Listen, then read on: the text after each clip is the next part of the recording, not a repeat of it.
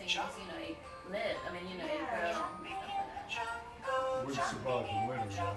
that. No, you want that? Yeah. This is no way like hot.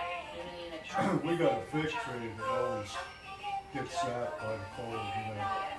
But the guy told me mulch is real heavy to protect the roots Even if I try to kill it, it's still, winter. still coming, And then you get figs from it. Before, yeah, a lot. Yeah, Yeah, But I because her cut friend it to make it has cut a it big small. fig tree never came out. And it's still in coming her back. yard. Fresh figs, they're really good. We have a lot of the, um, the long string beans. Uh-huh. You gotta, you gotta put a lot of Kind of mulch over the Oh, roots right. To protect them from the cold. you know. Maybe you We'll come there. Fifty-four seconds.